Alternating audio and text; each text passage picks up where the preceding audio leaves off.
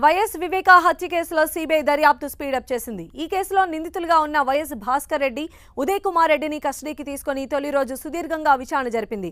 ఇద్దరికి ఆరు గంటల పాటు పలు ప్రశ్నలు సంధించారు సిబిఐ అధికారులు. తొలి రోజు విచారణ ముగిశాక చంచల్గూడ జైలుకు తరలించారు. రేపు మళ్ళీ కస్టడీలోకి తీసుకుని ప్రశ్నించనున్నారు.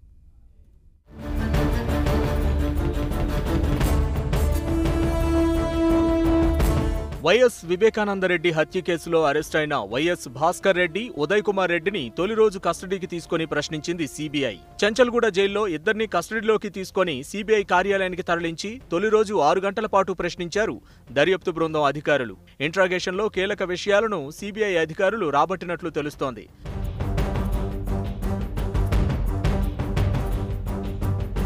వివేక హత్యకు ఐదు కారణాలుండొచ్చని పేర్కొన్న సిబిఐ ఆ దిశగా భాస్కర్ రెడ్డి ఉదయ్ కుమార్ రెడ్డిని ప్రశ్నించింది. వివేక హత్యకు నలభై కోట్ల రూపాయల సుపారీ ఇచ్చారని దస్తగిరి చెబుతున్నారు. వీటికి మీ సమాధానం ఏంటని ప్రశ్నించింది దర్యాప్తు బృందం. సునీల్ యాదవ్ అకౌంట్కు కోటి రూపాయలు మీరే బదిలీ చేశారా? ఆ డబ్బులు ఎక్కడి నుంచి తీసుకొచ్చారని ప్రశ్నించింది. హత్యకు ముందు రోజు దేవిరెడ్డి శివశంకర్ రెడ్డి ఉమాశంకర్ రెడ్డి సునీల్ యాదవ్ ఎర్ర గంగిరెడ్డి ఎందుకు మీ ఇంట్లో ఉన్నారని భాస్కర్ రెడ్డిని ప్రశ్నించారు సిబిఐ అధికారులు. ఈ కేసులో ఇతర నిందితులతో మీకున్న సంబంధం ఏంటని భాస్కర్ రెడ్డి ఉదయ్ కుమార్ రెడ్డిని ప్రశ్నించారు.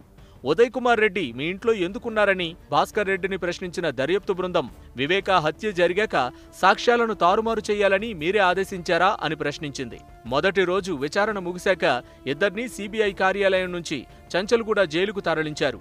భాస్కర్ రెడ్డి ఉదయ్ కుమార్ రెడ్డిని ఈ నెల ఇరవై నాలుగు వరకు కస్టడీకి సిబిఐ కోర్టు అనుమతి ఇవ్వడంతో గురువారం మరోసారి ఇద్దరిని కస్టడీలోకి తీసుకొని ప్రశ్నించనున్నారు సిబిఐ అధికారులు.